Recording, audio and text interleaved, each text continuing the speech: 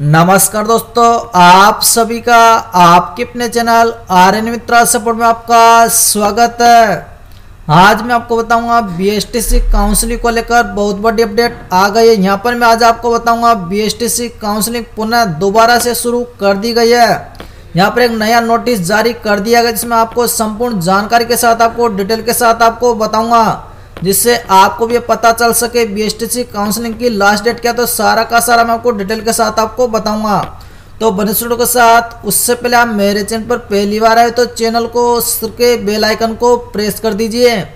तो चलो video start करते हैं तो उसके लिए मैं आपको बताना चाहूँगा, आपको अपना ब्राउज़र आपको ओपन कर लेना।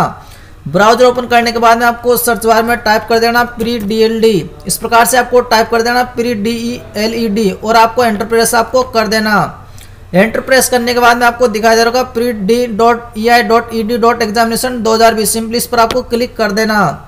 इस पर जैसे आप क्लिक करोगे तो यहाँ पर pre D L D B S T C का ऑफिशियल पेज आपको देखने को मिल जाएगा।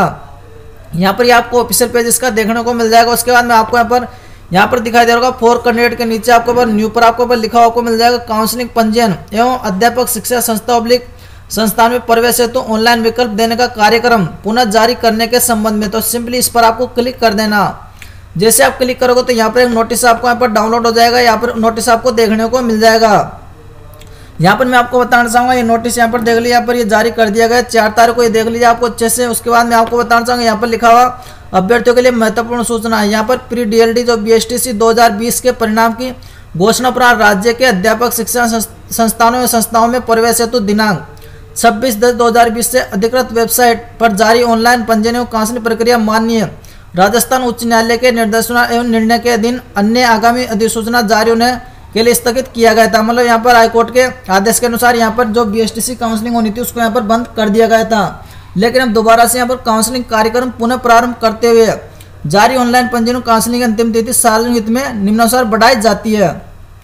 उसके लिए यहाँ पर देख लीजिए B S T C counselling के यहाँ पर काउंसलिंग पंजीयन शुल्क राशि यहाँ पर तीन हज़ार रुपये का भुगतान नियमितता डेबिट कार्ड या क्रेडिट कार्ड नेट बैंकिंग अतिरिक्त I C I C I bank के माध्यम से आप जमा करवा सकते हो उसके यहाँ पर दिनांक यहाँ पर चौदह बारह दो हज़ार बीस तक आप करवा सकते हो यहाँ पर अपनी काउंसलिंग के यहाँ पर देख लिया यहाँ पर चौदह बारह आपके यहाँ पर लास्ट डेट है उसके बाद में अध्यापक संस्थानों ओब्लिक संस्थान में प्रवेश के लिए ऑनलाइन सूची के अनुसार विकल्प देना आपके यहाँ पर पंद्रह तारीख इसमें यहाँ पर लास्ट डेट है तो यहाँ पर देख लीजिए काउंसलिंग आप दोबारा से बी यहाँ पर पुनः दोबारा से आप करवा सकते हैं इसके। यहाँ पर लास्ट डेट आपको चौदह तारीख आपको दी गई है तो यहाँ पर ये छोटी सी जानकारी मैंने आपको बता दी। अगर आपने अगर बी काउंसलिंग नहीं करवाई तो आप दोबारा से यहाँ पर इस प्रकार से आप करवा सकते हैं। यहाँ पर इसकी लास्ट डेट यहाँ पर ये दी गई है। तो सारा का सारा मैंने आपको डिटेल के साथ आपको बता दिया आप जैसे मैंने आपको बताया, आप इस आपको इस नोटिस को आपको देख लेना। आपको यहाँ पर ये नोटिस आपको देखने को मिल जाएगा ऑफिशियल तरीके से। तो अगर आपको मेरी जानकारी अच्छी लगी तो वीडियो को लाइक कर देना, वीडियो को शेयर कर देना और चैनल को धन्यवाद।